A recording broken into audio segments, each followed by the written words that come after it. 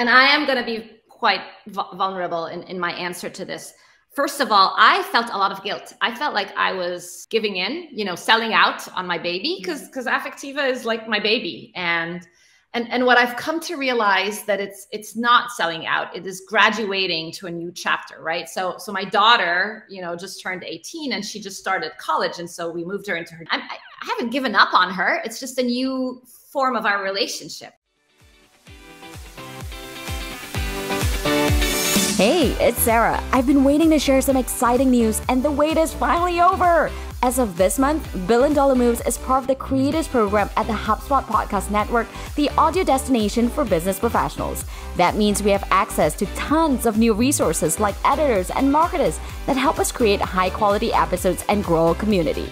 We're also in great company with podcasts like one of my favorites, Finding Founders, where host Samuel Donner interviews the world's most prolific thinkers and founders who reveal how their darkest moments inspired their success. Check out Finding Founders and learn more about HubSpot creators at hubspot.com/creators.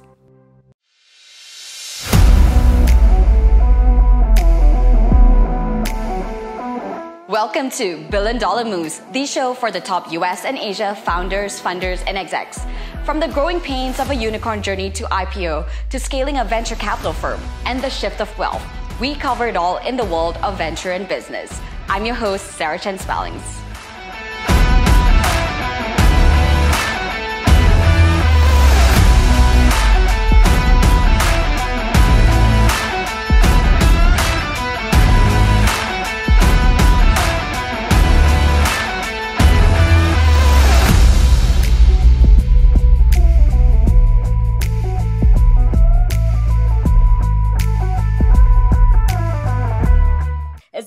Tremendous year for you, Rana. Congratulations. A lot of excitement, and we want to dig into that. H- how are you feeling? I, have you fully sort of uh, come to the moment that, yes, I've exited, this is the next mm-hmm. stage?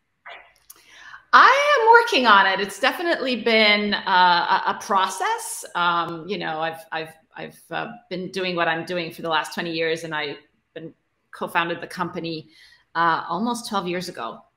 So a yeah. big part of my identity is related to the company. And so I'm figuring out like what does it all mean and trying to take a step back and kind of um, look at all the opportunities in front of me.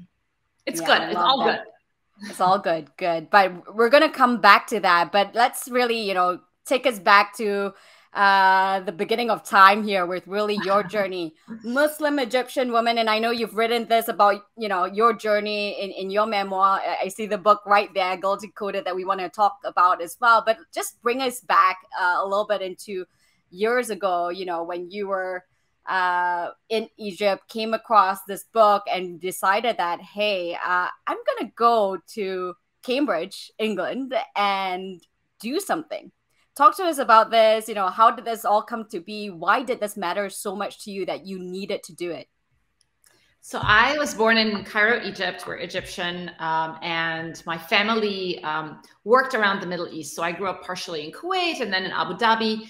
Both my parents are technologists, so from a very young age, I was exposed to the latest and greatest technology. And what struck me the most is how technology changes the way we connect and communicate with one another. And that's really been a common theme of my career. So I mm-hmm. studied computer science as an undergraduate and really wanted to become faculty at the American University in Cairo. And so um, I thought, okay, well, I need to go abroad, get a PhD, and come back to Egypt and teach. And uh, that was my first foray into research. And, and as you said, I read a book very serendipitously towards um, you know the end of my undergraduate years called the called Affective Computing. It was written by this MIT professor, Rosalind Picard. And she posited that computers need to understand emotions just as humans do. And that literally, I was so inspired by the idea, it, mm. uh, it changed the trajectory of, of my life and my research.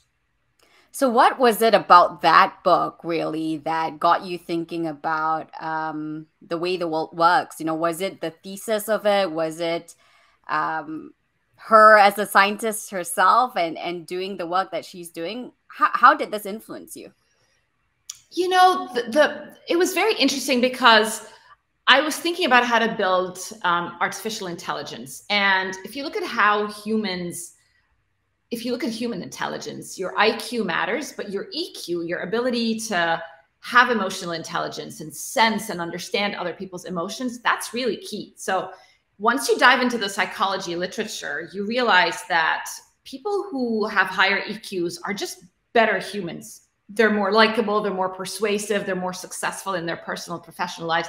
And that was completely missing from the narrative around AI or technology in general.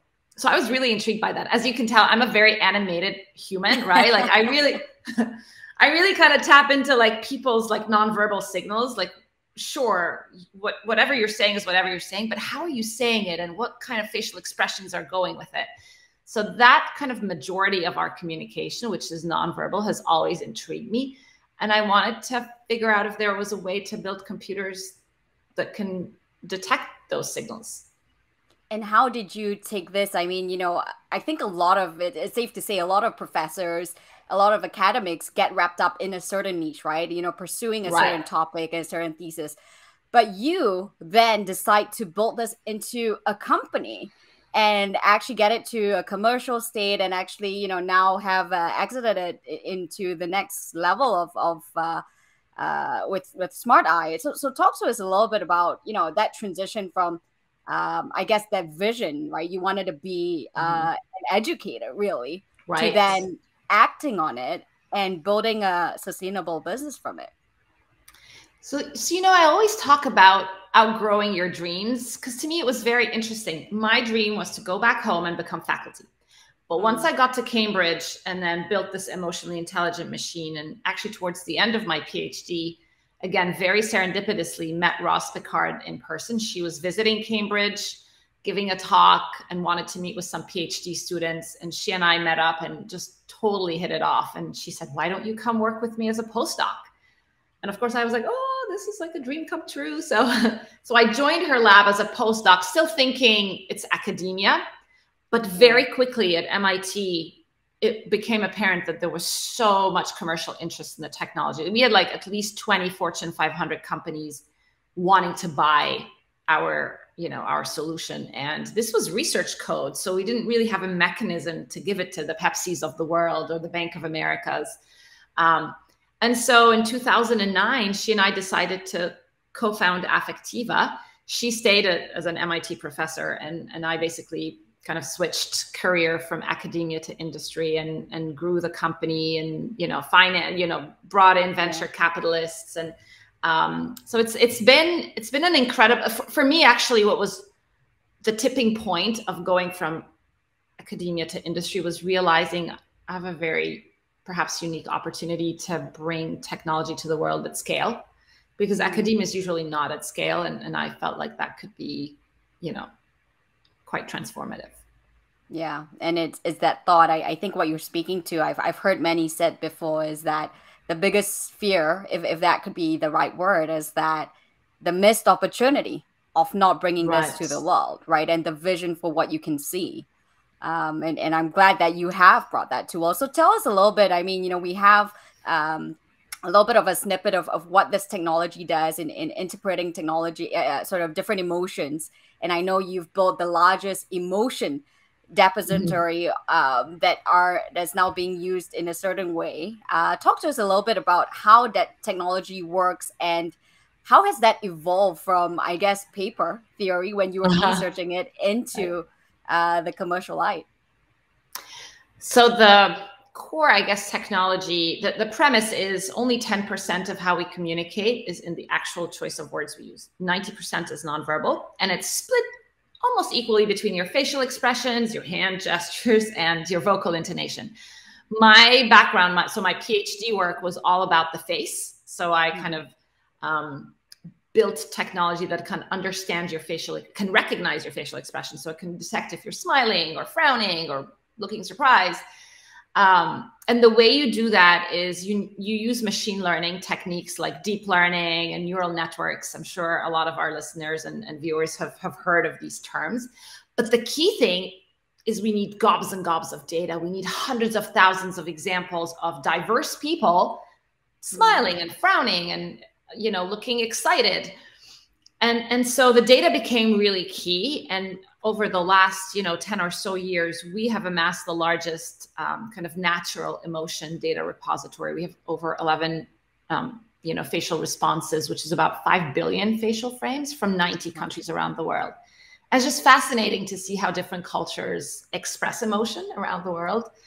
Um, I, I i continue to find that just really fascinating yeah, so you used um, sort of these different facial expressions as a basis um, for different uses. Talk to us a little bit of some of the use cases here, and and I know you came uh, to a very important point where your values were tested, right? In terms of right. uh, being approached, you were given a forty million dollar check to potentially use it in surveillance, but chose not to. So, what what, what were the use cases? For this and what did you eventually choose was the right uh, use of your mind share to, to use your words? I mean the cool thing about this technology is that there are so many applications of it. I mean you know we always joke as a team that any party we go to where people are like oh so what do you do? And we start explaining and, and inevitably you know the person will will say oh have you considered like gaming? Have you considered building a dating app? Like yeah. there's always so many applications so the challenge for Affectiva and now Smart Eye is to decide on which applications to focus on. So um, our very first use case at MIT actually was in autism. So we built this device. It was a Google Glass-like device with, you know, a, a Bluetooth headset, and it gave the kid um, real-time feedback on his or her interaction. So it would say, you know, you know, this person looks interested, this person looks disinterested, and it was like a training and a, and a help help self-help tool. Um, but at affectiva um, we realized that there were so many applications everything from advertising research where we help gosh 28% of the fortune global 500 companies get a sense of the emotional engagement their mm-hmm. viewers have with their products and contents and services. Um, to automotive i'm sure we'll get to that because that was the premise of the acquisition eventually. Um, but but we but but but we routinely get approached to apply the technology in areas like security and surveillance and lie detection. And we just feel very strong. We actually have core values that we decided on when we first started the company.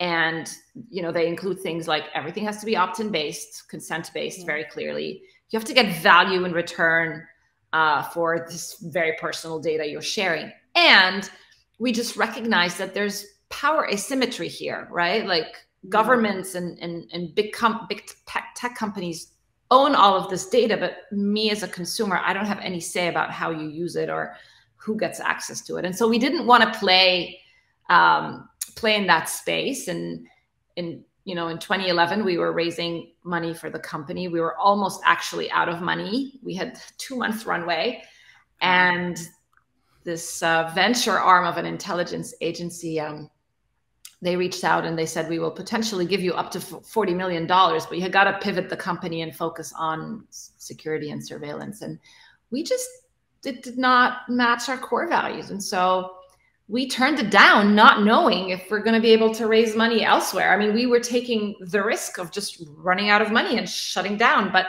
we felt it was the right thing to do. And you know we were able to raise money from other investors that share our core values and our vision and to me that's you know that's a real big lesson if if i were to do this all over again i would still make the same decision and stick mm. to our core values even if it meant less revenue for the company yeah, and Rana, that's such an interesting point to that I want to dive deeper on. You know, you said you started uh, with a set of cult, uh, sort of core values that you wanted to hold yourself to, you and your co-founder. As the years go on, you know, with the mm-hmm. entrepreneurship journey, there are multiple pivots. You have to adapt, things like that. How do you know that what you've decided in the past rings true today? And, and what I'm bringing up here is, you know, Adam Grant, a fellow YGL, who brings up the, the concept of rethink and rethink again, right? And and for you, I mean, sure there are certain elements of of uh, where we don't like the the power symmetry giving that to government but it also serves a certain good right how do you think about that especially as things evolve over time This is a great question because you're absolutely right. I, we have over the course of Affectiva's journey the last 12 years, we we would routinely actually have a debate, a company-wide debate. It was an open, you know, open forum where we would have the debate on whether we should reconsider this. Should we, you know, help governments, especially, you know, every time we would see examples of public safety kind of floating becoming front and front and center of mind we would we would pose the question you know should we reevaluate our decision? But every time we fell back to the same place the technology's not mm-hmm. ready regulation's not there. It's not regulated at all. And there is just a lot of potential for abuse and discrimination and profiling. It was just so it always felt not the right thing to do. But but i agree with you. It's important to pose and repose the question um, because because the world evolves and technology evolves and what society thinks of technology evolves. So um, yeah it's important to keep reevaluating yeah. Well good to good to hear that. I mean you know i think uh sometimes there's a lot of uh, fear right? Even this let's talk about the landscape here. I think there's a lot of fear of ai right? That's in in movies the first thought comes to mind is the robot learns you know whatever and then attacks the human race right? So there's a lot of, of fear and I, I love one of the quotes in your book which you say that the real problem is not the existential threat of ai but really the ethical um, use of ai here and, and i want to get your view on this. You know when when ethics is such an intangible concept and you talked about diversity you talked about things that you know i care deeply about as well you know in understanding different cultures different standards how does affectiva you know in you being the leader at the helm think about ethical lines here? You know who decides and how, how do you think about this so the way I like to think about it is I, I, I, divide it into like two buckets: the ethical development of AI and then the ethical um, deployment of AI. So on the development side, it's really all about mitigating data and algorithmic bias. So, and I'll give you an example. If we trained, you know, a lot of the training data that's out there is basically middle-aged white men. So if you train these algorithms to detect various expressions of this non-diverse group of people, and then you deploy the algorithms on people like me or you, it's just not going to work because the algorithm has never seen people that look like us. Um, mm. so it, it'll it'll it'll fail. And so i've been a huge advocate for really implementing processes within the company to make sure that the data is diverse and that that we're very thoughtful and intentional in how we train and validate these algorithms. And um, you know that cuts across data collection data annotation data validation. Like it's every single step of the way. And, and i guess that the theory of, of how you want to run your business is, is embedded in every single thing from the process sourcing the data so on and so forth but how do you even guide your team you know in, in something like this and you know what comes to mind really is what you talked about in which big tech is mm-hmm. known right to be um, successful because they've been uh, taking risks they've been scaling quick you know um, move move right. and break things and, and things like that and, and how do you speak to your team about ethics when all around them you know the environment is completely in a in a different world almost. Yeah i feel strongly that ethics is a business issue. It's not just marketing fluff. It's not just you know something you you talk about on the side. It has to be deeply ingrained in every business decision. It has to be deeply ingrained in every business decision you make. Uh, and and that includes you know what industries you play in but it also in, includes how and, and again I, I think you have to be very intentional about it so so for a number of years before the acquisition we had our executive team um, bonus plan, not just hmm. tied to growing the company, but actually to, to ensuring that we have operationalized how we mitigate bias in our technology. Um, so that was really interesting, right? Like, so now all of the executive yeah. team were incentivized to pay attention to how we're doing around this whole ethics issue because part of their comp is tied to it so I, I from what i know this is quite unusual but but i think we need to see more forms of that i mean similarly when we were raising money from investors most investors didn't ask us about our ethics plan and I was adamant to bring on investors that were savvy that way. And so we ended up mm. in our last round again before the exit with investors who were asking, "Oh, like you know, how are you thinking about ethics? Like, what is your you know ethics code of conduct?" And I love that. We need more investors who care about this stuff because then that forces startups and, and other companies to to be serious about it. Just a quick note before we get back to the show. While you're listening to this podcast, you're probably doing something else too. Mastering the art of cooking, driving your kids to practice, dancing like no one's watching. We get it. When you're having conversations with your customers, the same is probably true for them.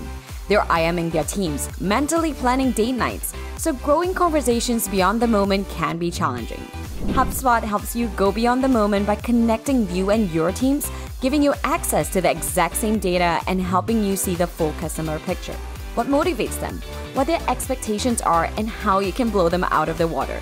With powerful tools that connect marketing, sales, ops, and service, HubSpot's powerful CRM platform powers you and your teams to transform customer moments into extraordinary customer experiences. Learn how HubSpot can help your business grow better at HubSpot.com. Now back to the show. Yeah, and, and I love sort of the the two way dynamic here as well, and you um, choosing your investors, right? And a lot mm-hmm. of times startups are in this position where they feel like, oh, you know, I'm running out of money. I just I just need a check, like whatever. But then you right. don't realize uh, it is really a marriage, and and you have the power to actually choose and and pick your investors and that actually has a, a, larger impact on the whole industry and i'm really glad that you brought that up and now I want to turn to you know fundraising as, as you talked about it, it was two women you were then wearing a hijab yes. when you were just getting started talking mm-hmm. about emotion how did fundraising go for you in the beginning and uh, you know what what were you some of your biggest lessons there it was definitely challenging because to your point we were um, primarily pitching to um, you know, older men um, in, in, in the Bay Area, but also around the world. And yeah, two women. I was wearing the hijab. We're pitching an emotion company. It was tough. I, I will say we always got a lot of respect because we we were the world experts when it came to this technology. Mm-hmm. Um, but but we were so outside of what they were typically used to seeing in founders that it was just very risky for these investors to invest in. And and, and actually that's why i've now become a huge advocate for not just supporting female founders but we need female funders. We need more investors who are different because they're going to invest in different ideas and different um, entrepreneurs. And that's super key. And, and i've actually i'm part of an organization called All Raise. So i want to um, give a shout out to them because they support both sides of the equations. We support female founders and we do a lot of activity, um, you know, to make sure that they are getting in front of the right investors. But we also support women on their path to become investors. Everything from angel investing to you know starting and growing um, their their own funds. Um, so that's really key. So it was not easy. Um, once we got the first check, it was definitely you know we were well on our way. But even in the mm-hmm. last, you know, in 2018, we raised a $26 million round from the automotive industry, very male dominated still. So right. it hasn't really changed. Unfortunately, we still have a lot of work to do. Mm. So, from the point of which you raised your first check um, and had, I, I suppose, your first check, you had your MVP already, right? Mm-hmm. Yep. And then years later to that $26 million round, how did you feel uh, the conversation shifted? When you say you know you still see how male dominated it is but how did the conversation shift? And you know what were some of your i guess lessons in, in fundraising there? I mean one of the things that i really noticed um, is women tend to just be um, what's the word? Hedge a lot more. Like i remember even when i was pitching our deck and sometimes um, my chief strategy officer uh, super awesome um, guy w- would would join me i would always you know when i'm talking about our numbers i would also i would always say things like i think this is going to become a billion dollar industry or a multi-billion dollar industry because mm. because the truth is I don't really know, right? Like we have assumptions in place and we have predictions in place, but but I always hedged. And um, my male colleague, he was just like, "This is going to become a multi-billion-dollar industry by you know 2023," and I was like, "Whoa." And I, I see that a lot. I hear that a lot, and um, mm. I've now started to do some angel investing, and and I see that as a pattern. Um, I don't know if there's a right or wrong, but I, I think um, you know once you're once you know about this and you're aware of it you can you can just be a little bit more intentional i guess in how you come across yeah and was there anything in particular that i guess from a business standpoint strategically that you learned about fundraising you know some people um, still see fundraising as a benchmark of success right but you and i know that it really isn't. Uh, it isn't. So, so talk to us a little bit from a commercial perspective here. You know, what was your strategy? And and admittedly, before a, a big exit, many companies um, had raised a lot more than you have before that point of right. exit, right? Um, right, right. It was part of a decision. Talk to us about that strategy there. Yeah, it's definitely you know a consideration. So, for example, we have a combination of venture um, you, you, know investors but we also have strategic investors and even that decision when do you take strategic money versus venture money that's like a big decision when we raised our round in 2011 when we turned that big you know 40 million dollar check and instead focused on finding other investors we took money in from wpp they're a big advertising conglomerate and they ended up being our biggest client and partner so they are both an equity investor but they're also very strategic and they accelerated bringing our product to literally 90 countries around the world in less than six months. It was amazing wow. from a business standpoint. But what I guess I underestimated when we took the money from them is that they had a lot of leverage over us, right? They were on our board. Um, you know, there was some exclusivity in place, so we couldn't work with their biggest competitors. We still can't work with their biggest competitors 10 years on. So, um, I mean, who you bring on as investors and their agenda and their definition of success. Like our strategics don't care about valuation, they're not valuation sensitive at all, but they do care about the business partnership. Our venture investors very much care about dilution and valuation and, and, and all of that.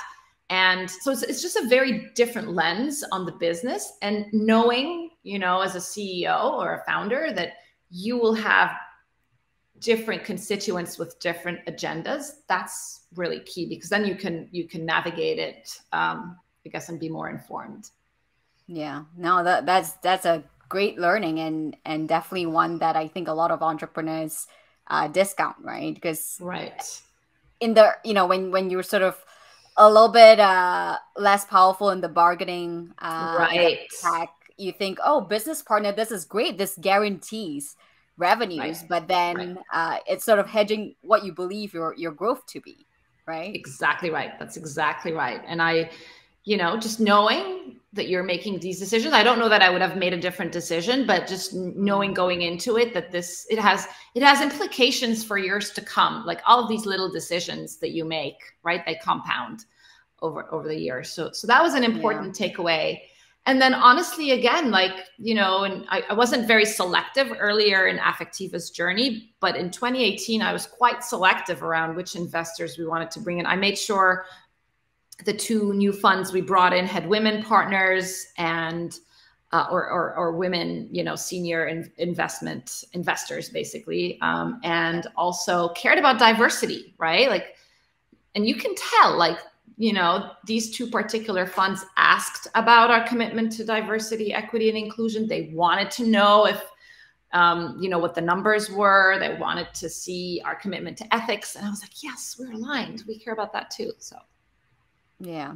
Yeah. So you move along um, years later and you get an offer for an acquisition by Smart Eye. Uh, and of course, this has come about not overnight but with uh-huh. years of, of conversations and, and toils and things like that talk to us a little bit about that part of the chapter you know um, how did that come about were you already ready are you ever ready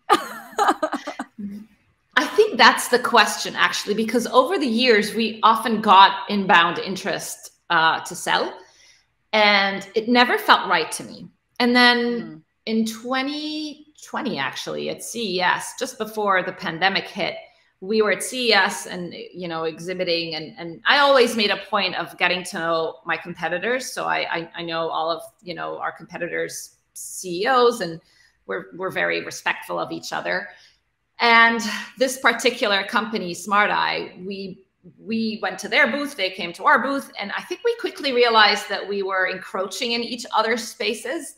Um, they've been around for 20 years. They're the global leader in driver monitoring. We are the new kids on the block, you know, using machine learning and data and and um, quickly kind of expanding, you know, the, the the the I guess the application space of the technology so um, and we left we left CES saying, okay, you know, let's stay in touch and let's think about partnering together. And then of course the pandemic hit and all of these conversations stopped.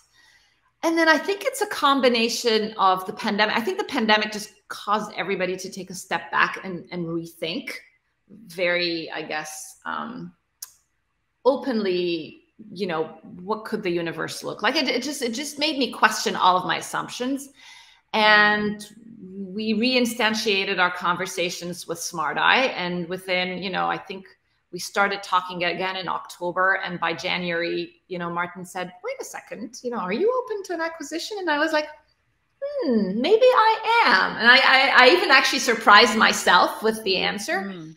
um we were in the midst of raising capital for the company so that was going to be the alternative path to just like continue to grow the company. And I, I i just felt like going it alone going it together was going to be more fun and hopefully you know guarantees faster and bigger success than going it alone. So um and then we had to do all of this over zoom right? We had to be, literally negotiate the whole deal. You know i think if it was not a pandemic we would just hop hop on a plane and meet in person and hash it all out. But we were just having FaceTime conversations um, every mm. day, and so that was that was uh, you know how do you build true trust, you know, over Zoom? It's it's not so easy. Yeah, and and you know, Rana, throughout this conversation, I noticed you use the, this word a lot. I felt. I uh-huh. felt this was the right time. And of course, you know, someone who leans into emotion, right? This makes sense. But when you say I felt here, right? It, I, correct me if I'm wrong. It's sort of your gut feeling, your intuition that this is the right time. How do you hone into over the years? I mean, you you're the world expert on this, right? Oh. Emotion. How do you hone into that? You know, because I think as as leaders, we come across different opportunities all the time. Um, and sometimes it's an opportunity cost, right? You know, sure there'll be you know tons of fish in the ocean, but what we don't talk about is every choice is an opportunity cost. So how do you think about that? And, and in your context of your exit to Smart Eye, what made you say, I felt that was the right thing to do huh. at that time? Um, so we're both young global leaders at the World Economic Forum, and uh, WEF has an amazing framework for responsible leadership Mm. And it's five, you know, five pillars for what makes a responsible leader. Examples are data driven and, you know, caring about your stakeholders or at large, including the community and society you're in. But one of them is intuition. And I think that that's, it's a superpower if you're able to tap into it. Um, and I would have to say, like, I do a lot of journaling. I, I don't know about you, but I just try to use it as a way to almost listen to myself. So, um, and it's it's actually pretty amazing how some of my journal entries are like lead indicators. So, mm-hmm. so I'll give you an example. Sometimes I'll say, "Oh, you know, Dan doesn't look like he's in a good place. Like, I wonder what's going." And then two weeks later, Dan quits, right? And mm-hmm. and and and part of me is like, if I just had listened to my gut more strongly and proactively, you know, checked in with Dan, I'm, I might have changed the, you know, I, I might have convinced him to stay, right? So my my gut is almost like an early kind of um, sensor for, for things around me, and and and and I and I think if you're able to take the time to listen to your intuition, I think it can be very powerful. So, and especially in the pandemic, I mean, I've always been a big, you know, I journal a lot, but during the pandemic, I just made a lot of time to you know just think and and reevaluate and reflect. Um, and so i felt it's interesting that you noticed that. I don't know if i was aware that i uh, that i, I say it a lot but um, it felt right it felt right. And and yeah. um yeah it felt like the right time yeah, and, and talk to us for you know specific to uh, Smart Eye as, the acquirer. I mean, I love how you uh, keep a close eye on your competitors and what they're doing. I mean, there were many in the market, right? That um, there were different use cases for what what the mm-hmm. technology can be brought up to be, uh, but you chose driver monitoring systems. You chose Smart Eye what, what was it about them? What was it about this? I mean, it's a multi-billion industry, but talk to us about your vision here and, and why this made sense to you. Uh, on a number of levels. First of all, like let's start with the technology. Our technologies are very complementary. They do eye tracking, we do emotion recognition and interior sensing for the automotive industry. Our technologies plug in really well together. So, so that was like checkbox number one. Checkbox number two was, um, you know, the culture of the teams. And in my interactions with, especially at CES when we had the opportunity to meet face to face, I just felt like we shared a very similar culture. We're very R and D focused, um, no egos. You know, it's just about getting stuff done. And and then the third aspect, and, and caring about ethics too, like that was very important to me, and it was clear that they care about that as well and then the kind of third piece of it um, i just got along really well with martin and i felt like it was actually bizarre because i meet a lot of ceos and i've never actually met a ceo who has the same exact vision like i do and he uses like hmm. similar words. I was like that is like he sees an application of this technology across industries. We will eventually get there. Um, he uses the I, I, we say humanizing technology before it dehumanizes us. And he said you know he uses the wording bridging the human machine gap. And i was like wow like we are so aligned in terms of vision. Um, so that that was exciting as well. Um, now mm-hmm. you know I, I always i think it's important to always be honest. It's still hard right? Integrating two teams two cultures um, to organizations. We do things one way, they do it a different way. And so this is all like taking time. Um, but I think at a high level, we're aligned um, on where we want to go and, and how we want to get there. There's a lot of mutual respect. So, you know, we'll, we will, we will make it happen. Take a, it'll take time, but we will get there. Yeah, and, and if, if you may, if you can, uh, talk to us a, a, little bit about you know your new role now. You've taken on mm uh, that the title is deputy CEO. Uh, what does that mean? And you know, what does that mean from a larger scale of your role in Smart Eye and also Affectiva and the initial vision? Has it evolved in in a certain way? Uh, what's the vision, sort of, you know, years down the line here? So, um, so deputy CEO is apparently a title that is is more common in Europe, but it, it's essentially like a co-CEO. So my uh, role is to partner very closely with Martin, the CEO, and uh, you know put in place a strategy for growth, execute that strategy, really focus on integrating the two companies, um, and exploring what's next. Right, like we're focused on the automotive industry, but but we also have our antennas up for what other market opportunities are there. And and actually already we. Um, just in the last couple of weeks, we acquired a company called iMotions. They integrate mm. multiple sensors um, so they have a software platform, and we've known them. We've worked with them for many. Both companies actually had worked with them for many years, so it was very um, synergistic to what we were doing. So just keeping an eye. Yeah. So so how big is the team now? I mean, when when the acquisition happened, remind me how many employees did you have? So Smart Eye were 150 employees, uh, headquartered in in Gothenburg, Sweden, and we were about 120. So it's like the company has doubled in size. Wow um yeah and then now we've brought on um, iMotions and they're about 50 people too. yeah and, that's a big chapter. I mean you know it's the merging and i i love uh you know how raw you are and, and i i think you know people expect that right? The post merger integration essentially um that usually is a whole consulting team um to do that for for a certain reason. And you know where i want to go with this is uh, what i've realized um you know female founders talking going back to you know topics we care about female founders are now exiting quicker and at higher mm-hmm. valuations mm-hmm. that's a good news story and also a bad news story right because for some um, it's under circumstances where they're burned out and mm-hmm. they no longer want to do it and that's the best or if not you know for some the only option um, some you know may not have the access and opportunities that you've had with multiple choice of investors wanting to write you that check and therefore the exit makes sense so you know mm-hmm. trying to be true to you know this this uh, re- reality that we're faced with here when you were thinking about your exit you know and now learning to power through and finding a new identity um, what would you say to founders that are you know having these considerations of do i continue on or do i go and i am going to be quite vulnerable in, in my answer to this.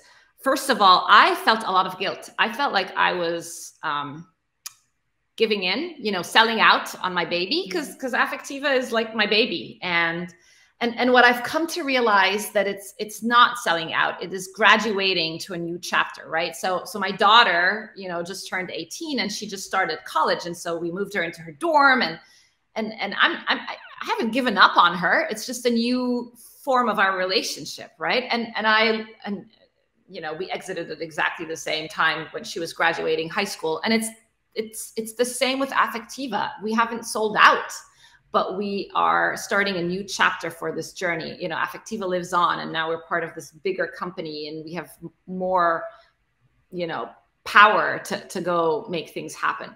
So that's kind of point number one. Just kind of put it in perspective.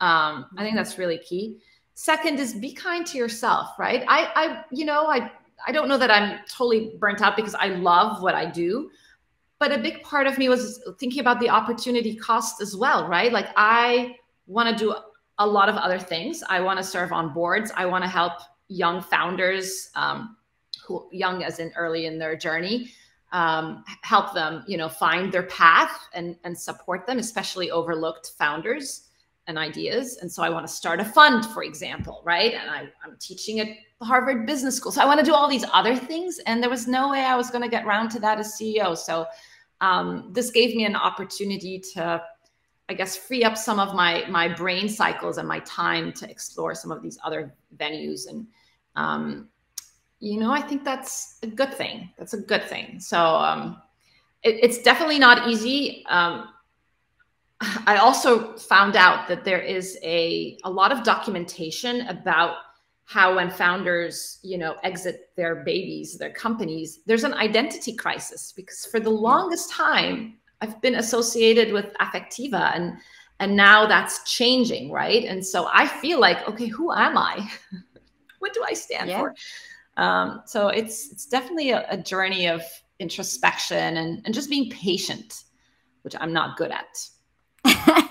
and as I think many high performers are not, right? And it's interesting that you right. bring this up. I, the last conversation that I had was with, uh, you know, Susie Rodgers, a British athlete who was a broad, you know, gold medalist and all that in, in swimming. And now it, she's on to the next stage as well. And she was mm-hmm. saying how it's hard. It's really hard, right? You know, no, everyone focuses on the performer, the athlete. And I think right. as CEOs, you are an athlete in a certain way. Right. You, you're sort of on stage, you're on all the time so everyone focuses on your development at that time but what happens after? You know how do you think about that? And how do you sort of transition and to make the most of of, of uh, you know this exit that that you've built?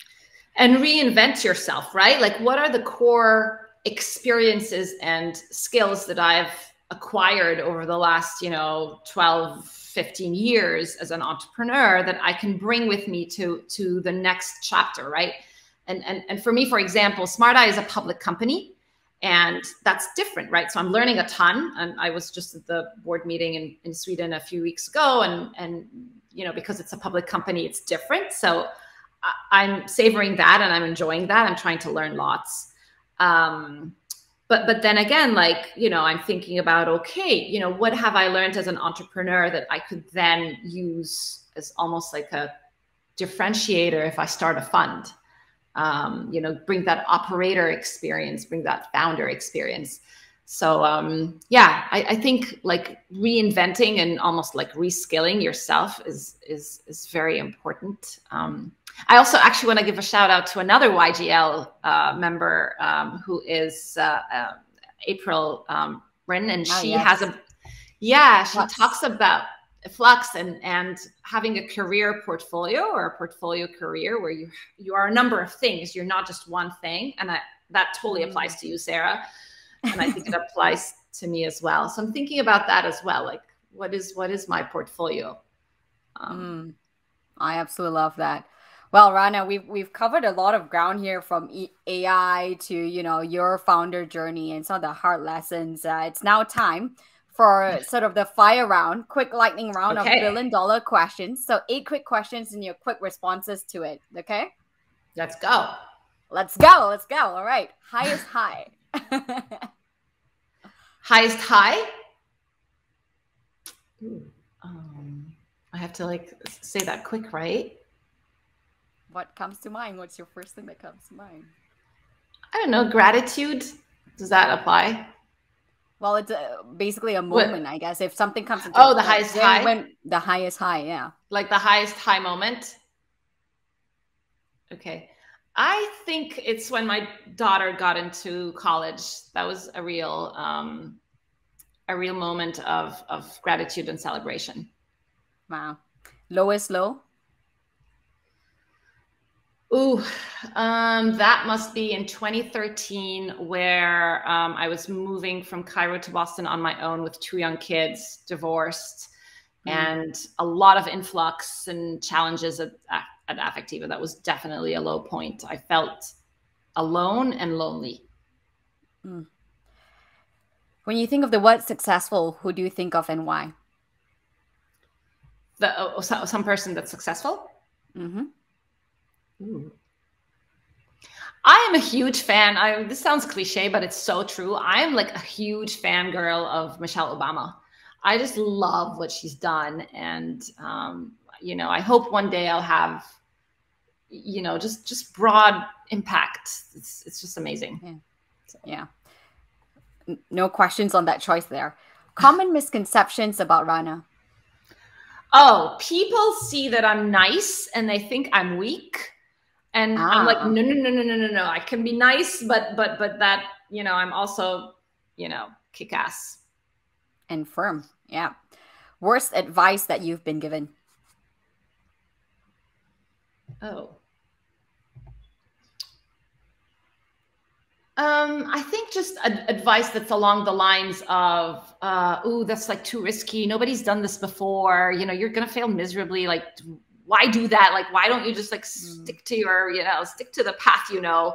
I've heard that so many times when starting the company, when getting my PhD, and now, you know, now that I'm considering a fund, you know, I keep getting, "Well, but you don't know anything about investing. Like, why, why don't you just like continue the path you're on?" And so Mm. I have learned to ignore this advice. That's good. Uh, your favorite productivity hack or tool? Ooh. Um, I've gotten into the habit of um, spending 10 minutes in the morning doing affirmations, but also being like listing my intentions for the day. And that's mm. really been helpful to get me to focus on the things that matter and not just, you know, little things that, that don't, that don't add up. Yeah. Absolutely love that. Uh, I know you mentioned Rosalind Picard for your favorite book, um, but let's choose another one. Another favorite book and why? I love The Obstacle is the Way.